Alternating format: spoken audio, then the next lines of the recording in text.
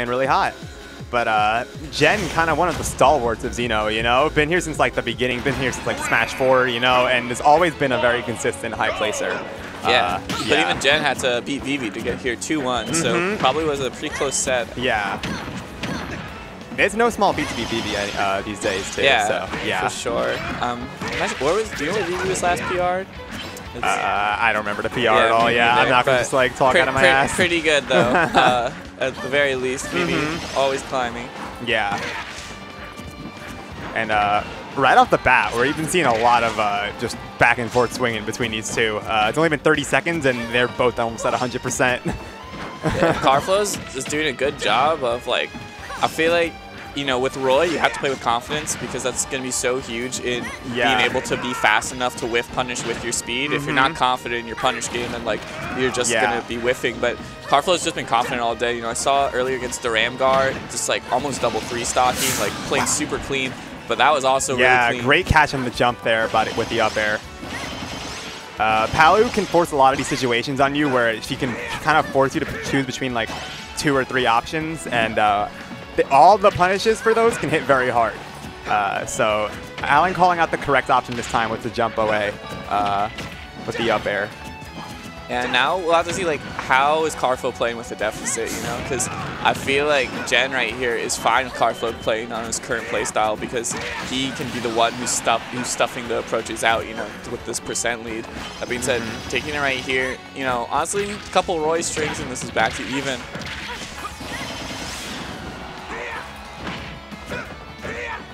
Oh wow, that was a lot of up airs to be using that string, but uh, they they looked pretty safe actually, uh, especially when you hit behind Palu's shield. Uh, her back air to shield doesn't hit too uh, low, so it can be difficult to just like use it out of shield instantly uh, if you're not a, like a tall character. Yeah, I feel like if anything, like maybe like back down air as shield could be used. But Yeah. that being said, you know, Karflo was down 100% that stock, and like like I said, two openings is really all you need with Roy Mm-hmm. to close it out, and now even up right here. Karflo though is not going to be stopping this aggression. Yeah, I feel like it would be a detriment just to slow it down at Roy, right? Like you have uh, so many ways to uh, threaten and pressure your opponent, uh, especially when Palu's main goal is to try to stay away as much as possible. Yeah, when you were talking earlier, like, you know, Palu's back air shield not hitting low opponents. Palu, like, Mm-hmm. I feel like when Roy's so close, she doesn't have that many moves that are, like, crazy fast to, like, yeah, stop it. Her low startup is is definitely a weakness against Roy for sure. Oh, and I feel like that was such a huge opening for Gen right there because that was the first time uh, he was starting to juggle and get Oh, lead. yeah. Uh, that shield grab, once upon a time, you know? Once yeah. upon a time for sure. that was definitely a range where it would have grabbed previously, and uh, I can understand that I sometimes uh, just like warp back to pre-patch and think it will grab from this spot. Yeah. Gotta Uh, say, Roy's roll in pretty far. It does go Yeah, pretty far, yeah. did I was not realize. expecting that. That might have also been why Gen might have missed that, because uh, I don't think he was expecting the, the roll to go as far. And honestly, that match was so quick. Kind of hard to uh, analyze too much, but I feel like Gen could benefit. You know, like we were saying, Palu has not the fastest startup on her aerials, so I think Gen could uh, benefit from doing things a bit more preemptive. Like, you know Karflo is going to go in, so just put the Nair out, put a bair out before you even like see him start jumping in because you know he's going to go in. So, and Palu's not fast enough to play that reactionary because of her low startup. So try maybe reading some things more and stuffing it out preemptively. And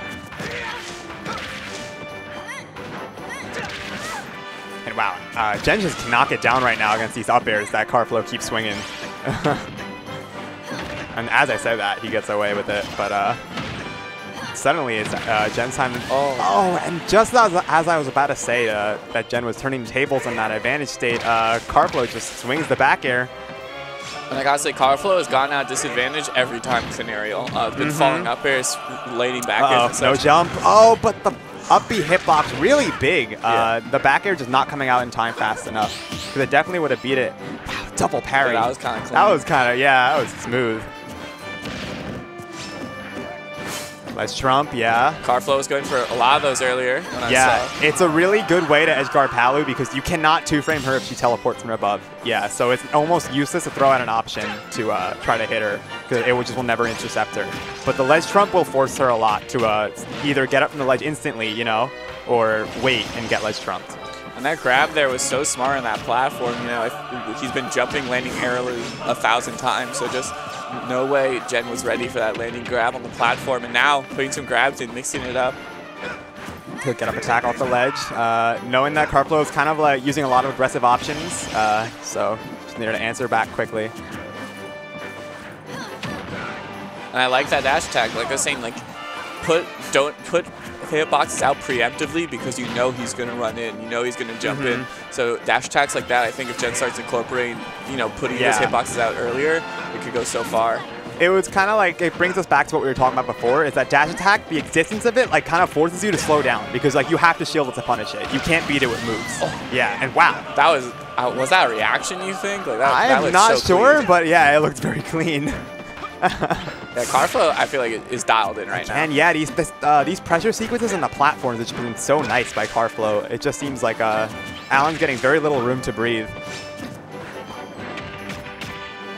And right there, you know, he get up attacks earlier and mm -hmm. it mm-hmm. worked, so I feel like Karflo yeah. was aware of that and just was kind of backed off on the ledge. Mm -hmm.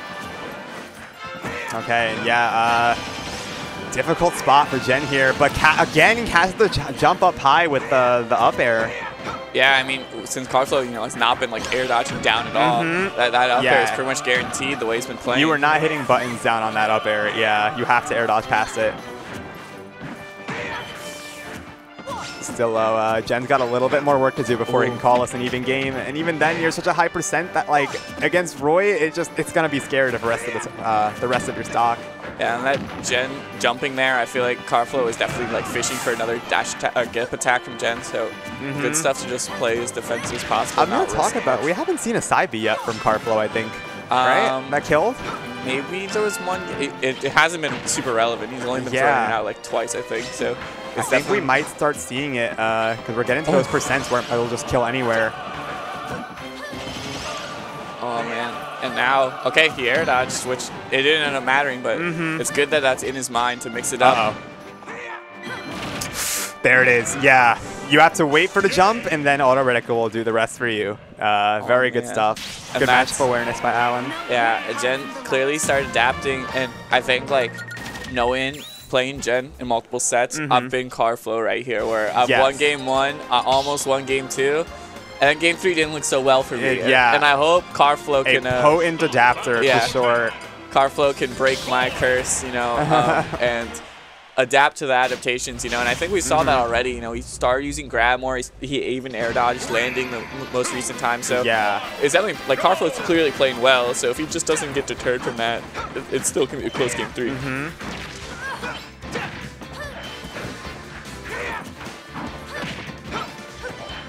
What it looks like so far, though, doesn't look like Karflo's lost his vigor at all. Like, he's still playing with a good mindset.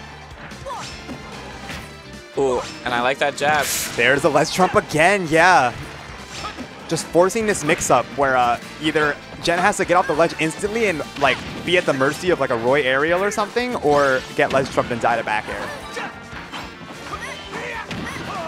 And uh, right now, for Gen, it's so important that he keeps this up and, gets the damage. Yeah. Yeah. This is like where Roy does have weaknesses is when Palu's like juggling him in this matchup. Yeah. So it's so important that Gen takes every extension really far. Otherwise, you're just not going to outpace the damage output Roy has. Yeah.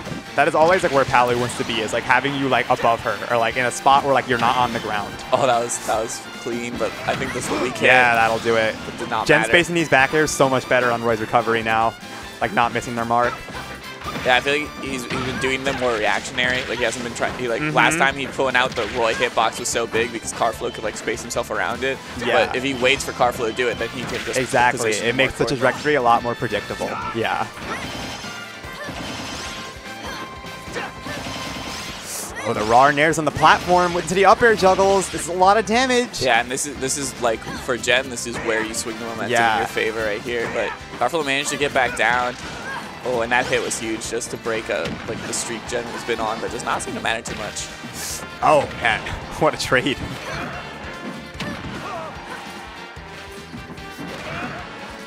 Recognizing that's Oh, wow, the roll read. Yeah, it seems like uh, Gen's got a little bit better of a handle on Karflo's uh, Karflo's pace now.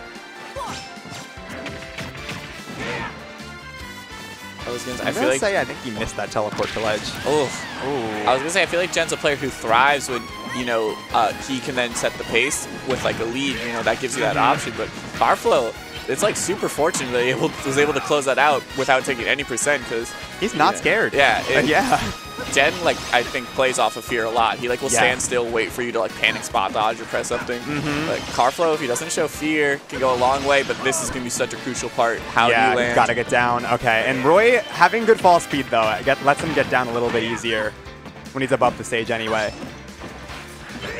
Gen's been jumping from ledge a lot lately, and I Yeah. don't blame him. But Karflo could He, catch the to the that. ledge trump I think is still in like imprinted in his memory, uh, especially right now. It will the ledge trump back there will definitely take his stock.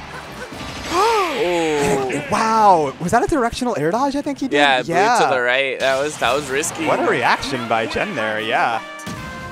Clutching it out. And that just like, I feel like Gen is just like so good at, at those last sock, last hit scenarios, you know? Yeah, I feel like like Karflo, you know, being Nice. like a newer player to this late in bracket and stuff. Like I feel like there's a problem in these last hits where, where you you're thinking about the win, and Gen I feel like is just thinking about the game. Yeah. know? Gen was just thinking about how you know this is Roy landing. He's now starting to air dodge. Let me react to what he does, and Yeah. that was really clean.